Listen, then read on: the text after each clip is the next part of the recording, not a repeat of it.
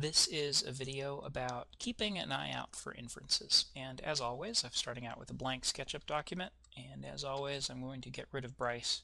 Sorry, Bryce. Okay, so what we've got is inferences. Now, inferences are basically little hints that SketchUp gives you to let you know uh, where you are on your model when you're drawing and when you're modeling, just so that you can be a little bit more accurate, actually a lot more accurate.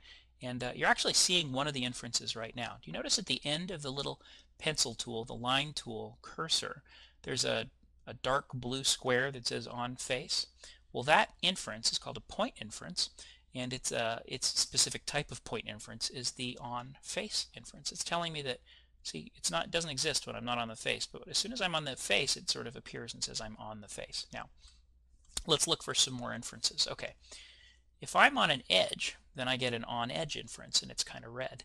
If I'm at a corner point, I get an endpoint. Now, endpoint is also going to exist even if I'm just at the, uh, let's say, oops, let's grab the pencil tool to do that instead. If I draw an edge kind of overlapping another edge, what I'm going to end up with is an endpoint there as well because what I have now is two edge segments, one here and one here. So watch these little inferences that are happening. Let's go ahead and just uh, erase those two edge segments and use the pencil tool to bring that back. Okay, so let's go back to the pencil. Now, what I've got is endpoint, on edge, there's one, it's midpoint, which tells me I'm exactly at the midpoint on this edge. Now, if I go ahead and do this again, what I did before, which is basically split this edge into two edges using the pencil tool, notice I'm going to end up with two midpoint inferences now. This now is not the midpoint of this whole edge segment, it's the midpoint of this edge segment that I was just drawing right here. Okay, so there's a midpoint one.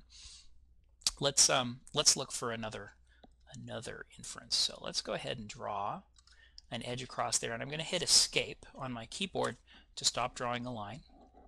Now, if I go to the intersection of these two. Notice how I'm getting a black box this time. It says intersection. That intersection is telling me that I'm uh, at the point where this edge and that edge intersect. Okay, let's go back and get the eraser tool again. Just like this, I'm going to get the push-pull tool and push this up. Now, I ended up with an edge there because I this edge was actually two edges. What I can do is um, undo a couple steps. And I'm going to hit Control Z or Apple Z on a Mac to undo a couple steps boop. There we go. Let's just go ahead and use the pencil tool to redraw that edge and then use the push-pull tool to pull that up. Now you see I didn't end up with that extra edge there because this edge segment was, was solid. Uh, let's go ahead and use the circle tool right there. And another inference that I'm going to get is with the pencil tool, you'll see I get a center inference. So the point inferences that we just talked about endpoint, midpoint, on edge, on face, and center. And also intersection, which uh, I showed you before, was the intersection between two edges. Okay, I'm going to use the eraser tool. Let's start talking about some of the linear inferences, the other kind of inferences that you can get in SketchUp. As I draw here, let's say coming off of this edge, my line turns red, and that's telling me that I'm parallel to the red axis, right? We covered that in the previous video. Let's actually draw in the green direction instead. That means that I'm parallel to the green axis. And that is a linear inference telling me what direction I'm drawing in. So the fact that the edge turns color as I draw is actually a type of inference. It's a linear inference. Um, we call it the on-axis inference. Here's another example of the on-axis inference. Let's select this whole thing and then use the move tool to move it around Notice how that little red dotted line appears? That's an on-axis linear inference that tells me what direction I'm moving things in. So there's green and there's blue. So that dotted line is a linear inference, again an on-axis inference, that uh, just tells us what direction we're going in. And these things automatically happen. There's no way to turn them off in SketchUp. Uh, they just are always on and they're, they're super helpful for telling you what you're actually doing. If I want to cancel a move operation, I'm just going to hit escape to stop moving. Let's uh, talk about some more inferences. Okay, so let's uh, deselect that box and I'll go up and get the line tool again. I'm going to come over in the red direction, then I'm going to come back in the green direction. Actually, you know what? Let's take the eraser tool. I'm going to do this in a different way. Let's get the pencil, come over in the red direction and up in the green direction. I want to draw exactly as far as this point over here. So what I'm going to do is come up until I see that from point inference. Now that's another type of linear inference called a from point linear inference and they appear to sort of tell me when I'm lined up with things. So that little dotted red line that says from point tells me I'm exactly lined up with this other corner of the box which, which helped me draw a little bit more accurately. Alright, let's talk about a parallel and perpendicular um, linear inference. What I'll do is I'll knock the corner off of this guy, there we go, so that we get an edge that isn't parallel to any of the axes. And I'm going to use this line tool. And what I want to do is draw an edge that's perpendicular to the edge that I started drawing from. So watch what happens. There we go. It's kind of, um, I think we call it magenta, but really it's kind of pink or purple to me.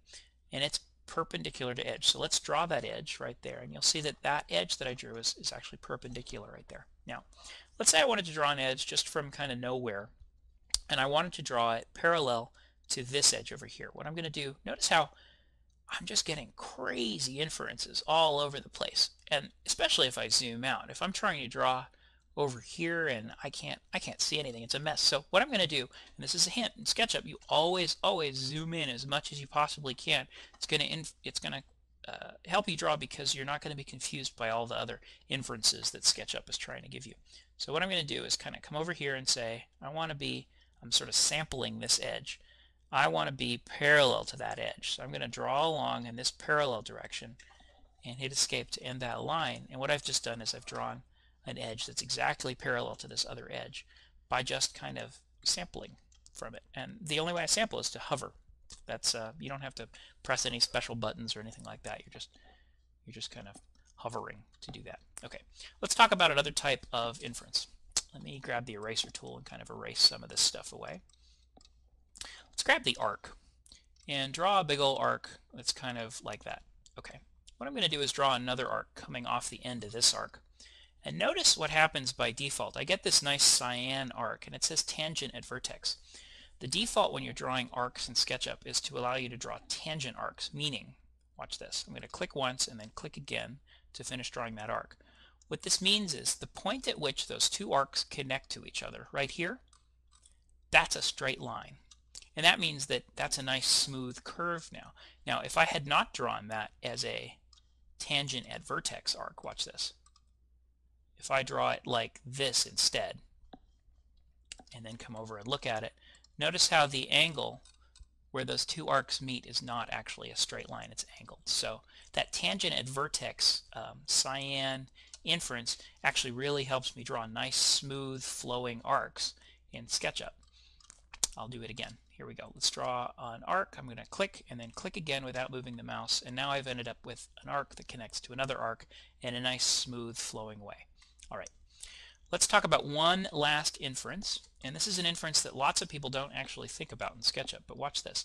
If I just start drawing anywhere in SketchUp, I'm actually more or less drawing on the ground, except that, watch, I'm going to leave that mistake in there too. I wasn't really paying attention. SketchUp didn't understand where I meant to be drawing, so it just ended up drawing a shape over here kind of any which way. I'm not happy with any of that, so I'm just going to erase. That should hopefully in your mind reinforce the idea that you need to be pretty precise about where you're drawing or at least orbit a lot so that you can figure out what's going on in three dimensions.